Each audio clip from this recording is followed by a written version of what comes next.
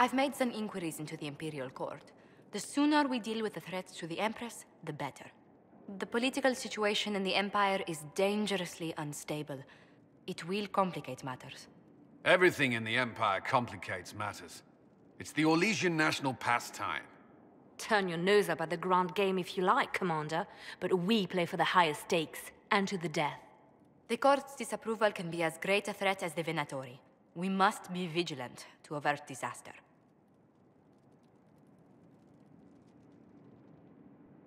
Don't worry, Josephine. We'll protect the Empress no matter what.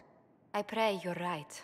If the hints from Therinfal are to be believed, we are all in terrible danger. Orlais holds Tevinter at bay. All of Thedas could be lost if the Empire falls to Corypheus. Celine is holding peace talks under the auspices of a grand masquerade. Every power in Orlais will be there. It's the perfect place for an assassin to hide.